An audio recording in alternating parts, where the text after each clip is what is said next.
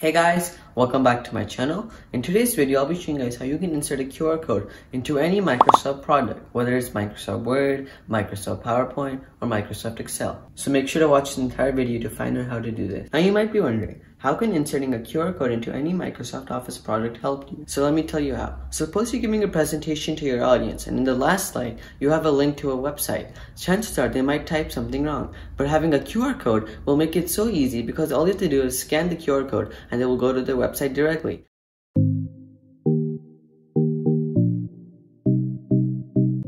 Now before we get started, make sure to hit that subscribe button, ring that notification bell so you'll be the first one to know all the tips, tutorial hacks and much more. Alright guys, so I have my Microsoft PowerPoint slide open here and suppose this is my last slide in my presentation and I want my audience to go to my YouTube channel using this link right here. But instead of them having to type that out, I just want them to scan a QR code. So let me show you how I'm going to do that. So all you have to do is click on here where it says insert and then go to where it says get add-ins and then go to the store. Note this everything is free in this tutorial and just type QR and get the first add-in which is QR4Office and then click add. And then accept to their terms and conditions and click continue.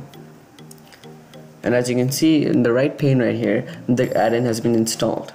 So you can actually increase the size of the QR code. So me want to increase this guy a little bit. And then I can actually copy my URL so let me copy my URL and paste it right here and I have choose a custom domain and then click insert. And there we go, I've inserted the QR code into my PowerPoint slide. I can increase the size a little bit. Alright guys, so I have the camera app on my phone right here and it's going to prompt this message saying open in YouTube. And the QR code will take me to my YouTube channel. Really cool, right? So instead of my audience having to type the YouTube channel URL, they can directly scan the QR code and they'll be directly taken to my YouTube channel. Okay guys, this QR code will not only work with Microsoft PowerPoint, but will work with any type of Microsoft Office product, such as Word, Excel, and all the other ones. So now you know how you can insert a QR code into any Microsoft product. And if this video helped you, remember to give it a like, and share this video with friends and family, and subscribe to my channel if you haven't already to get more videos like this. And that's it for this video. Check out my previous videos which are linked on screen, especially this one right here where I tell you guys how you can convert a PDF document into a Word document. And I'll see you guys soon.